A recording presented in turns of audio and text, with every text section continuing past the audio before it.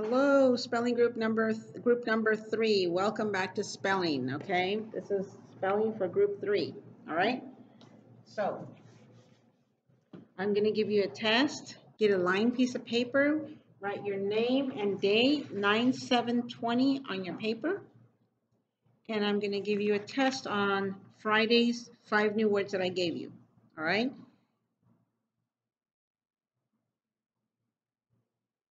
Are you ready? Okay. Your first word is person. Oh, I was going to give you the syllables. I don't need to. This is a test. Person. Person. It is not the talking, but the walking and the working, working person that is a true Christian. It is not the talking, but the walking and working person that is the true Christian. Person. Number two, press. Press. A press can be something when they first invented the printing press where they stamped all the letters, they called it a press because you're pressing down the letters with ink so nowadays it's not a press, but they call, still call it the printing press. Or press means to smash grapes to make juice, smash something, press. Number three, the word is guide. Guide. The woman needs a guide dog. Guide. Number four, Wait a minute. You know what? I just realized those were not your spelling words. I'm looking at the wrong day. But that's okay. Just leave them there. It's a good review. That was one, two, three. So your next word is angel. Angel.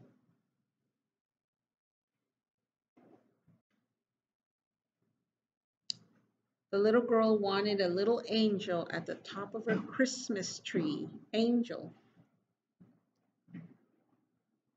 So your next word is excuse. Excuse. We always make an excuse when we don't want to tell the truth. Excuse. The next word is offer. Many people like to sell their stuff on OfferUp. Offer.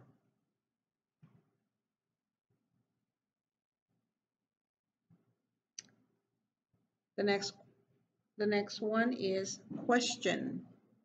Please call me if you have a question. Question.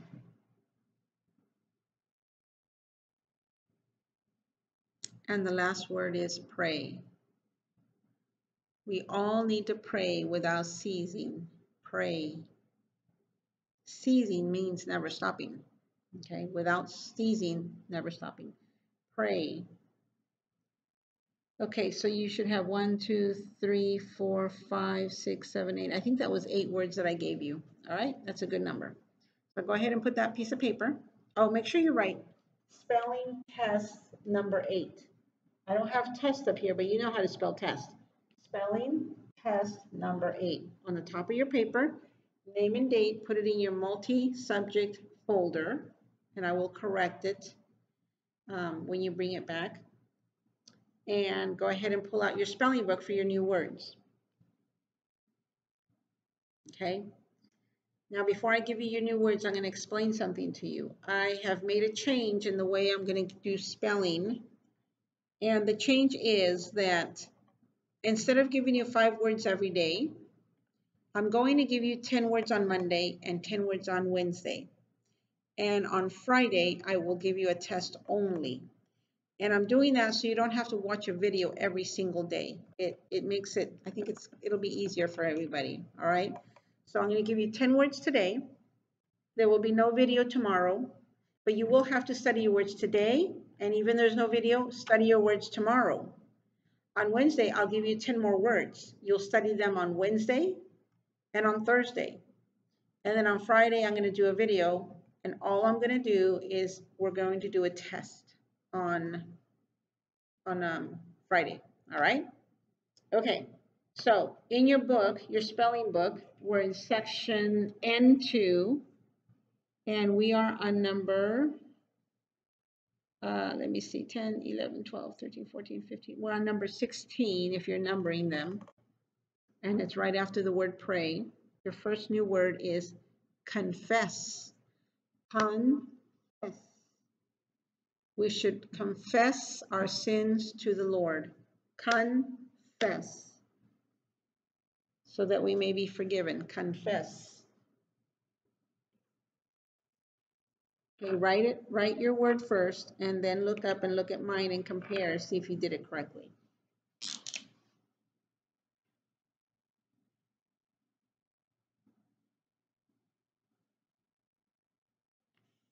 Okay, confess. Let me move this, see, see if that's better. Okay. Con. There's a ah, con. That's the first sound, ah, o, u. We don't mark it. That says its first sound. There's nothing to mark. Fes, e, first sound, e, We don't mark it. But we have a double S. You guys remember the rule? You should know this rule by now. You guys have had spelling for three years now, and we go over the same rules over every year until we memorize them. But the rule is that if you have a, this is within a syllable, not the word. In the syllable, if you have one syllable with one vowel, you often double the F, the S, or the L, and we have an S. We have one syllable here with one vowel, we double the S, okay? Confess. The next word is mumble. Mumble. Mumble. mumble. I have a favorite saying that says, don't mumble, don't grumble, and always be prepared. When you walk into class, don't mumble, don't grumble, and always be prepared. All right, two syllables.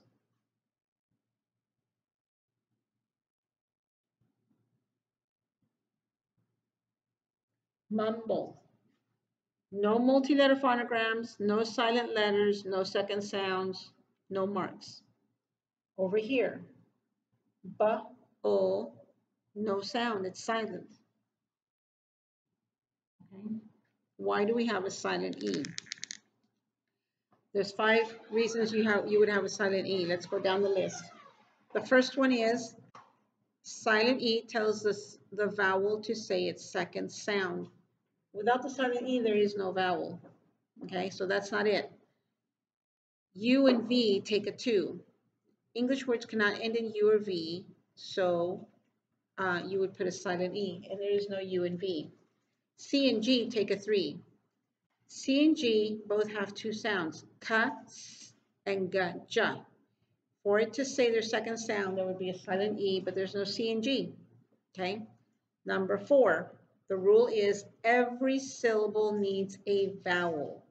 So if that silent E was there, that syllable would not have a vowel. We need to give it a vowel. So that is rule number five.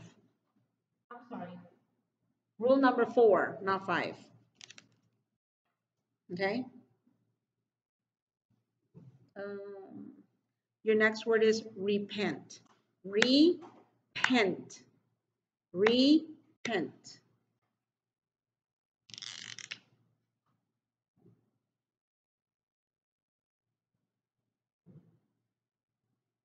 Okay.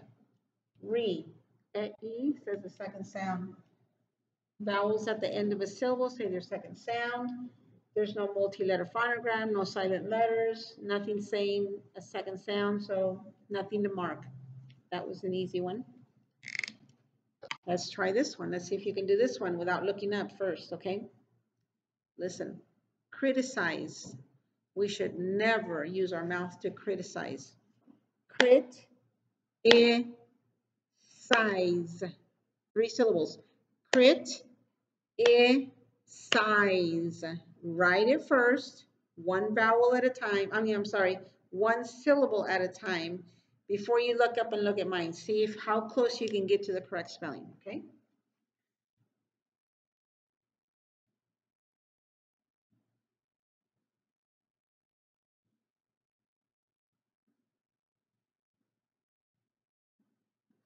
Criticize.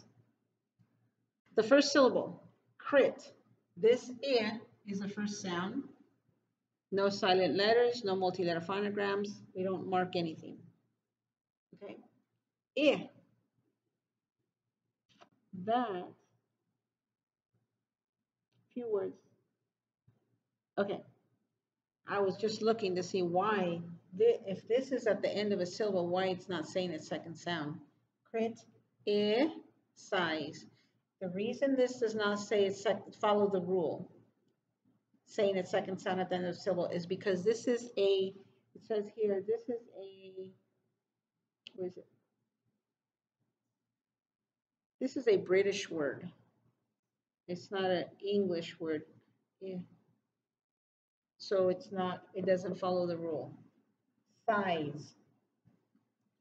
I, z, and a silent letter. Okay, there's a silent E there. Let's figure out what the rule is. The first one, it tells the vowel to say its second sound, so let's check. It, I, size, it's saying its second sound, so that's why it's there. But I see a Z. So this is also rule number, actually, no, I'm sorry. I'm thinking of V, but no, this is a Z. Um, the reason this is saying criticize. Okay. This does not follow the rule as far as the second sound C, but you can put a little mark there saying it's saying its second sound. It, this word doesn't follow the rules because it's a it's a British word, so it's it follows other rules that we don't use. So, crit eyes. Okay? All right. The last one for this section is, is reason. Reason. Reason. When we read, we read to reason. Okay? Reason. Write your word and I'll write mine. Then you compare to mine, okay?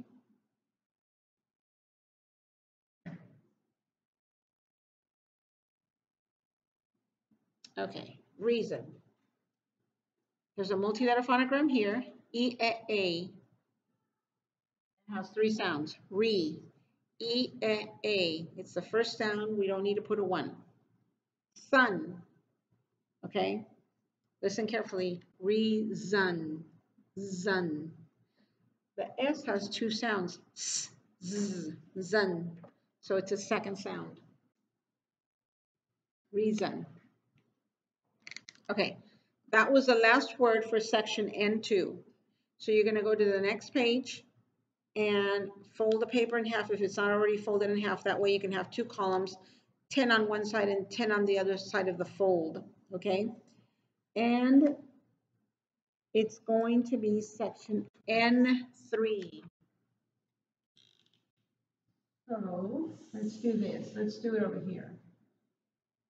N three, and three. And I gave you five, so I'm going to give you five more over here. And number one in section N3 is clap. Clap, one syllable. We clap through our syllables. Clap.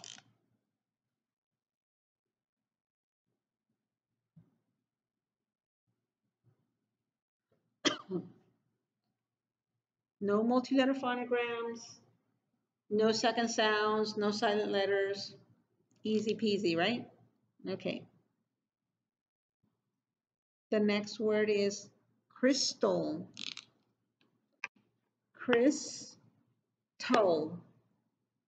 We say crystal, but we spell crystal. Crystal. Okay? Crystal English words do not end with I. Oh, crystal. Okay.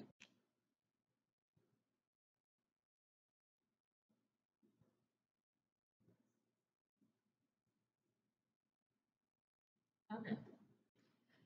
So there's something different about this word, and it doesn't give me an explanation as to why. Review the WISE exchange. Okay.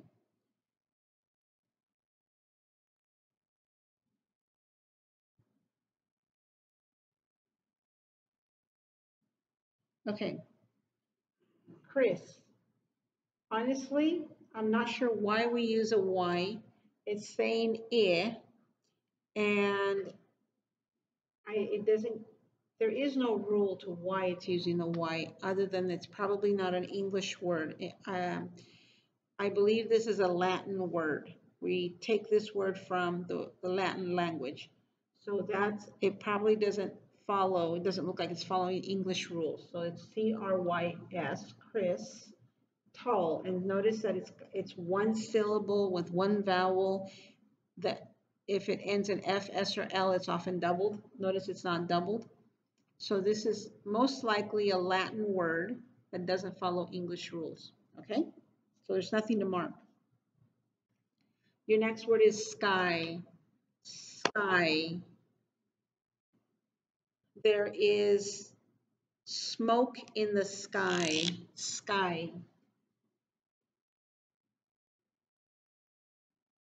Okay. Sk and I. We don't, English words do not end in I, so we exchange it for the Y that sounds like I. And if I is the second sound, so we underline it because it's a second sound. If I, second sound. The next word is, listen carefully, it's a long word, but if you do it syllable by syllable, it's not hard. The word is definition. Definition. Definition is the meaning of a word. Def, e, ne, shun. That's four. Def, e, ne, shun four syllables, okay? Shun uses the sh, tall letter sh. Write it and then compare it to mine.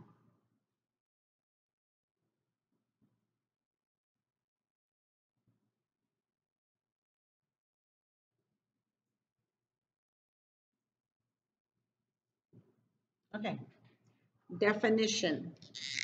Okay, the first syllable, deaf. No, no multi-letter phonograms, no silent letters, no second sounds. There's nothing to mark. If uh, this deaf i no wait i'm sorry i usually says i at the end of a syllable so this note the rule is a vowel usually says its second sound at the syllable. Notice the word usually. A vowel usually says its second sound at the end of a syllable. Usually means most of the time, but not always. In this case, it's not. Okay, this would be an exception because it sounds like it. Def, i, i, ni. Again, right here, i. First sound, first sound def e ne. Doesn't follow this, the, the rule of the end of a syllable because the rule is usually. In this case, this would be your exception. Now shun, there's a multi-letter phonogram there, okay? And if you can't see it, this is, my eyes are dotted. Underline your sh, tall letter sh. Definition. And this is ah, first sound. We don't mark for sound. And your last, your last word is need. Need. I need you to read 30 minutes every night. Read. I mean, I'm sorry, not read. Need. Need. You have a multi-letter phonogram in there. Need. There's an E double E always says E.